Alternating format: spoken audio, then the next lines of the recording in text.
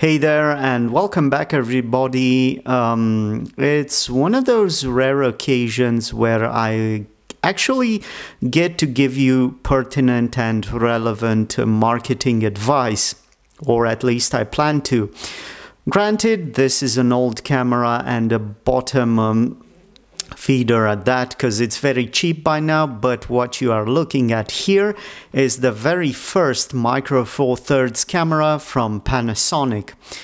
And it's still kind of useful today because I, really believe you could well potentially uh, start uh, your uh, photography hobby or well at least I think you can um, it's rather quaint because I I got this thing for a couple of reasons.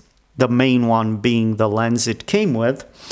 This lovely little 1232 uh, Micro Four Thirds uh, Panasonic Pancake model. But other than that, I thought to myself I could use this G1 camera as a secondary option, a com complementary device to my uh, old uh, GH4, my monster GH4, which is, I guess it will become a bit obsolete, but it's still good for me. Uh, nonetheless, uh, little did I know that this thing doesn't actually film, and I'm not much of a photographer, so I basically uh, got it by accident and really I will not be able to use it to its full potential. But that's okay because it only cost me 50 euros with shipping included.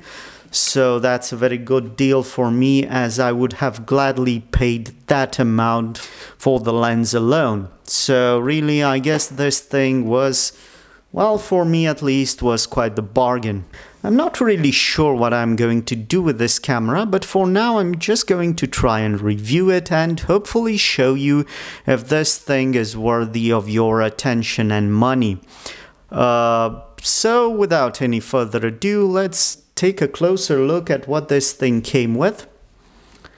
So naturally the camera itself, um, there's this um, original strap which is looking quite nice it's not a worn camera, but uh, the the I don't know the self-healing paint system, this satinated look, satin look is starting to peel off, and when you clean the camera with a bit of alcohol, uh, the mm, the first layer of paint gets rubbed off the camera, so it's not really pleasant, but it's mainly an aesthetic issue.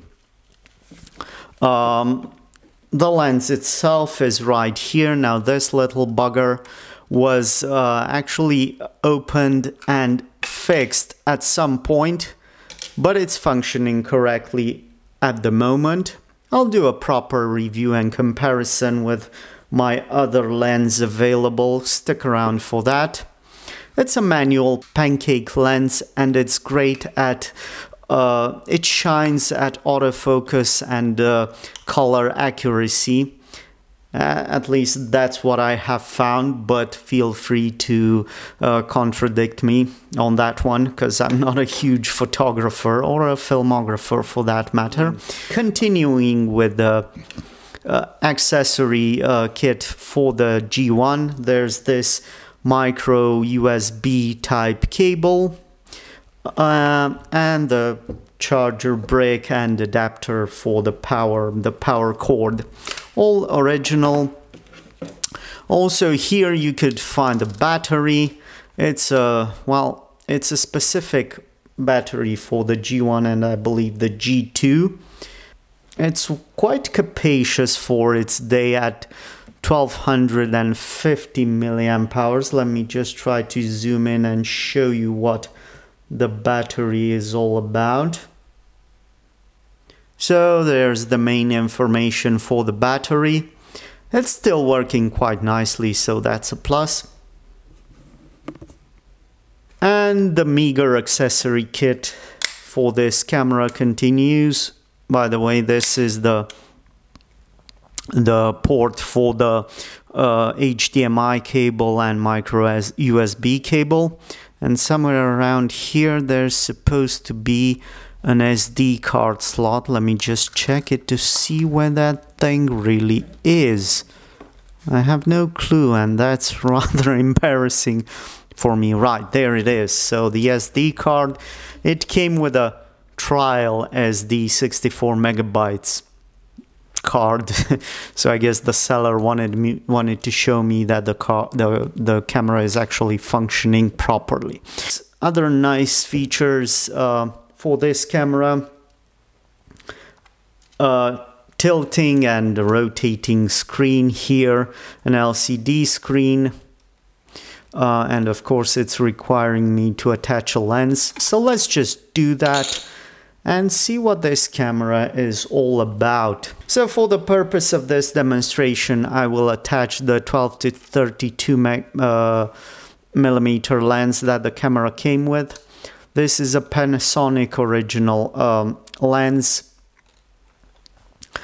Uh, it's a pancake variant. Let me just open it. Now we are looking at the 12 millimeter wide section. Let me just see if I can show it to you like this.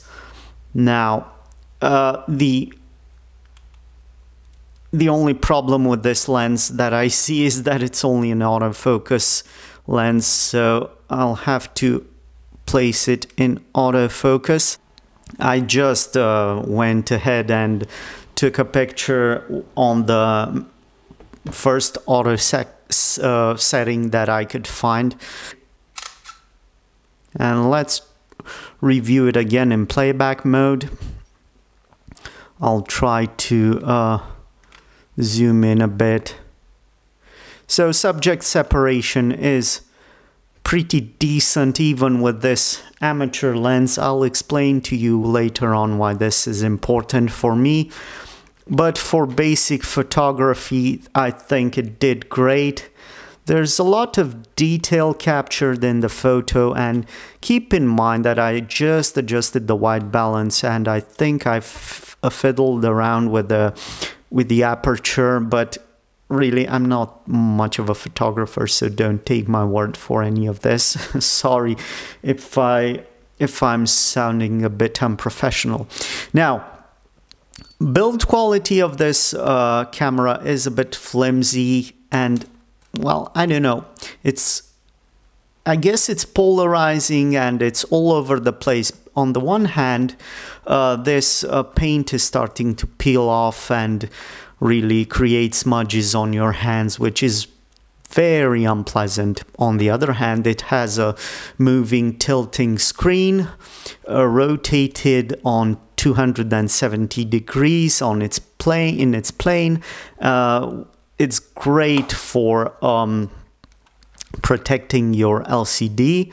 Uh, the construction is fairly solid and the, the whole thing is light and nice to hold in hand.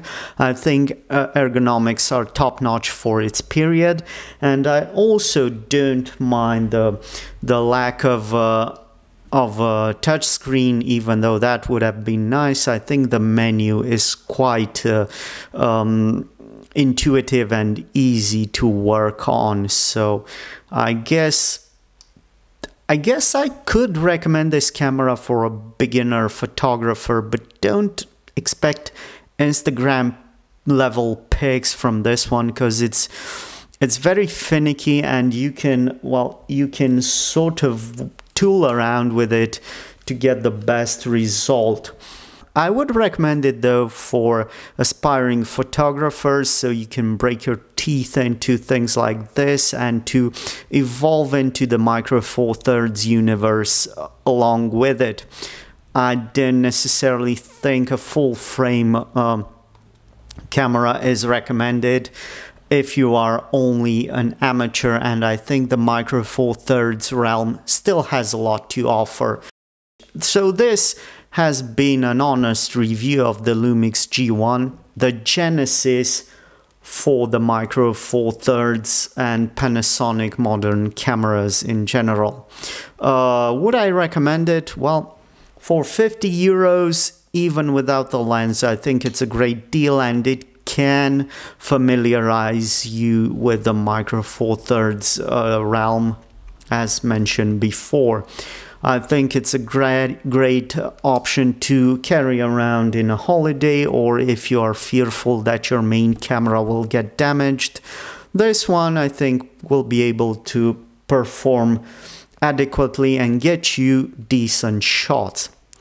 Uh, will this be a collectible? I mean, who knows? It didn't sell quite as well because the G2 that followed this model perfected the lineup and gave filming options as well. So they're not necessarily rare, but I think they're they're gonna get harder to come by.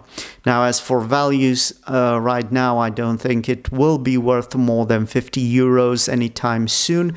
Maybe a pristine example which didn't have which will not have a you know smudgy paint uh, and uh, worn out looks, but those are quite rare to come by, and I think they will fetch a premium even though I consider them useless because you don't want a museum piece, you want a camera that you can actually use from time to time. It's beautiful for artistic photography, and I sincerely recommend it for a beginner um, beginner photographers.